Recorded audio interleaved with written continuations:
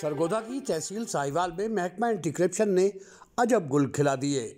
MPa के उम्मीदवार हाजी अहमद खोकर नामी शख्स ने एंटी करप्शन में मुलाजम अपने कज़न की सरकारी हैसियत का फ़ायदा उठाते हुए शहर में लगे एक दर्जन से जायद होर्डिंग्स और बिल बोर्ड म्यूनसिपल कमेटी के ज़रिए उतरवा दिए। और जब बिल बोर्ड एडवर्टाइज़र से मामला तय पा गए तो जबानी अहकाम पर फिर से बिल बोर्ड लगवा दिए गए।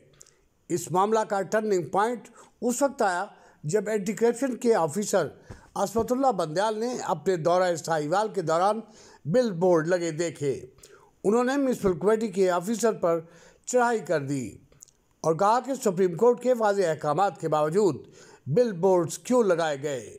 मामला डायरेक्टर साहिबा तक पहुँचा तो उन्होंने हुक्म दे दिया कि बिल बोर्ड उतार कर कब्जा में ले लिए जाएँ।